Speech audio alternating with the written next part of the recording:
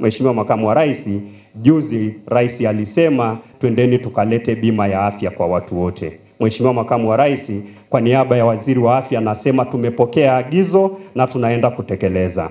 Lakini nilitaka niwaombe walioko hapa, nimwombe Baba Askofu, lakini niwaombe mkuu wa mkoa na wakuu wa wilaya waliopo hapa tunawaomba mshirikiane na sisi kuhakikisha tunawahamasisha Watanzania kupata bima ya afya. Mheshimiwa Baba Askofu, Mheshimiwa Makamu wa Rais, nimwambie tu Baba Askofu aliyoko hapa, uliona pale kwenye jengo lile kwa mapato ya ndani tu, kwa mapato ya ndani tu mmeweza kuchangisha bilioni tatu nukta tatu mkajenga pale. Asilimia themanini ya hela hizo zinatokana na bima ya afya.